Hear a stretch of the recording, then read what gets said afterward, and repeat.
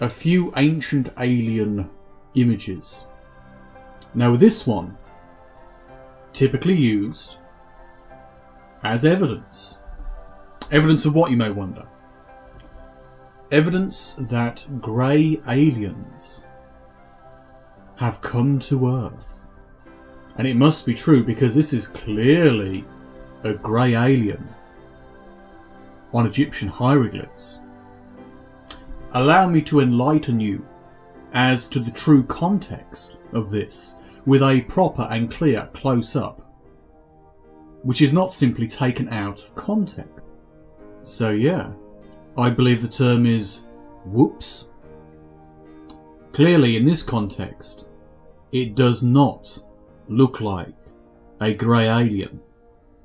When they show you a fuzzy or unclear image with a heavily emphasised close up to make it look like something, they are being deceptive. When you look at a high quality image, you see it looks like something else.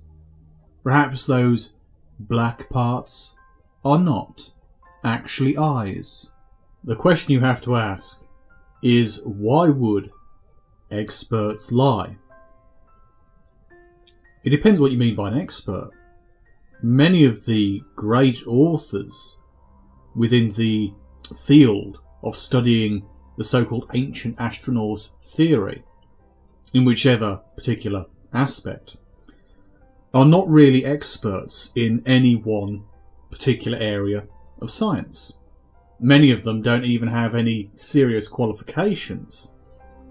They're perhaps in some ways highly educated, but many of them are dropouts. Many of them are merely authors. That is their primary qualification, and that's simply the act of being published. So, why would they lie? I think the answer is obvious. If they wish to lie with intent, it is for, well, it's a question of cupidity in the end. It's a question of uh, desire for wealth. There probably are those who believe in it, who have some kind of genuine belief.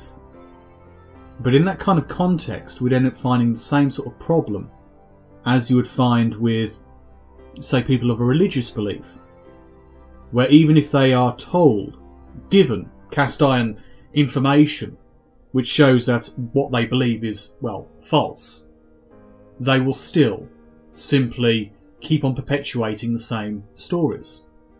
So even if rational conclusions can be drawn, which don't in any way, shape, or form suggest aliens, they would still say that aliens must have done it, whatever it is they claim aliens have done, simply because of their belief in the phenomena. A few images to go over now. I can go over more in future videos if wished. This one, people would claim, is a person wearing a space helmet, even though we don't know that. The mere suggestion of similarities between this and modern technology is enough to bridge the gap for some people. However, the suggestion is not enough. Merely wearing a type of headdress of this kind is not enough to say it must have been aliens using technology, well, similar to what we have now. You may as well say time travel or anything, but it doesn't actually prove a thing. Now, this image here, as I've shown you with the other image, looks less like an ancient astronaut and more like some kind of twisted creature from the game Amnesia. And if you've ever played Amnesia, you've got these twisted monsters of, uh, I think it's like three different kinds. And uh, this one looks a bit like the one I'm showing you here. But does it look like an ancient alien? Well, not necessarily. I don't know, maybe it does. But I sure as hell don't see that it's evidential. Is it evidential of them predicting the game Amnesia? Well, no, probably not that either.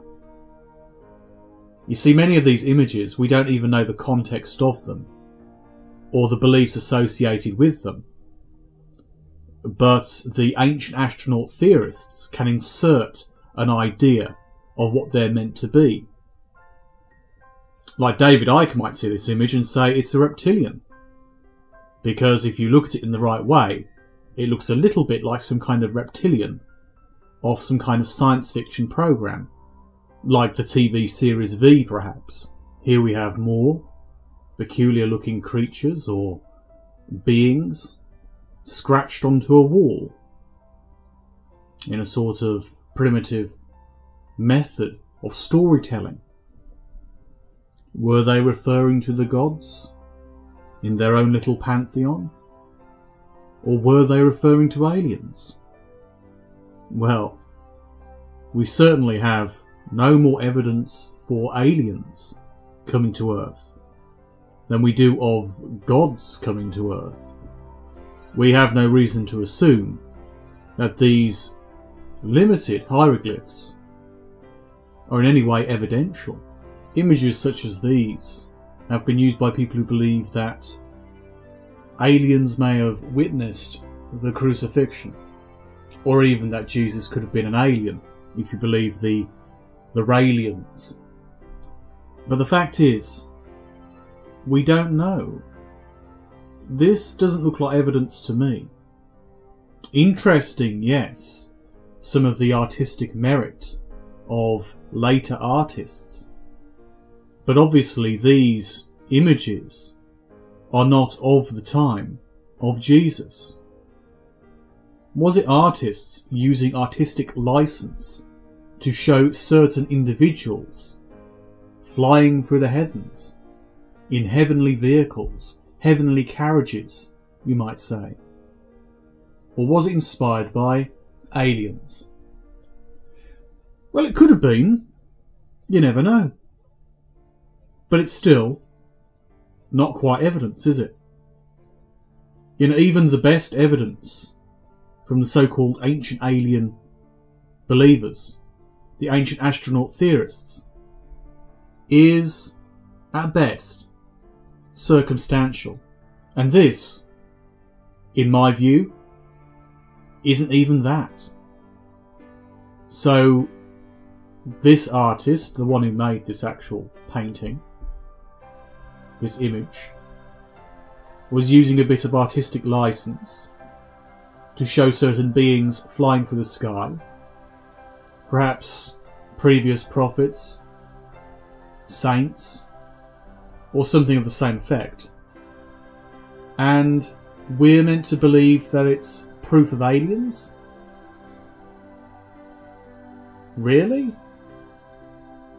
The problem with ancient alien theorists, any like being flying in the sky, whether on a cloud, on a wheel, on a ball of light, or within a kind of sky carriage, automatically it must be aliens. And yet there isn't any physical proof. There's no solid evidence. It's all very, very circumstantial at best. The ancient astronaut theorists try and claim that this is a pilot piloting a spacecraft. They couldn't be more wrong. The experts who've studied Central American culture have been able to actually say what these things actually are. The symbolic imagery has meaning. The ancient Mayan king Pakal appears to be flying a craft, according to ancient alien experts. However, what you see him sitting on is symbolic of the sun, which is a common characteristic in many particular artworks of the ancient Mayans and Aztecs. The central column is in fact the tree of life, and the so called, well, flames, which are supposedly at the bottom of this image, are basically the roots of the tree. Some of the other characteristics around this particular image are also common characteristics from ancient Mayan and Aztec culture, because they share many common links. And therefore, the experts been able to explain, or perhaps even explain away, the so called ancient alien theory as far as this particular idea. So, was King Pakal in fact a ancient astronaut? No, probably not.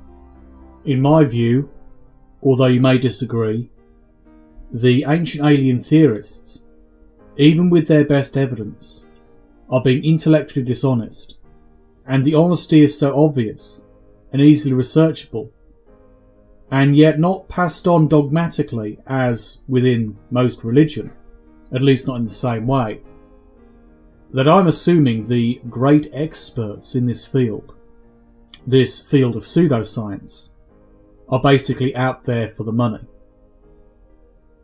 They're out there for the cash. Because they realise they can keep on fooling people who can't be bothered to do a simple Google search. And in fact, I'd like to recommend that people go out there and watch a video. A video called Ancient Aliens Debunked. And I'll leave a link below. It covers many of the points, many of the ideas within the TV series Ancient Aliens, their so called best points. And over the course of over three hours, the points they've made are debunked.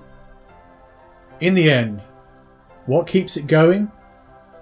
The whole idea of ancient astronauts? Are several factors. Most notably, ignorance of the facts, the desire to believe in something more than yourself, and of course, those people who capitalise on that in order to make big money off their book sales. It's very simple. You have people who don't know any better, people who wish to believe, and those who wish to make money.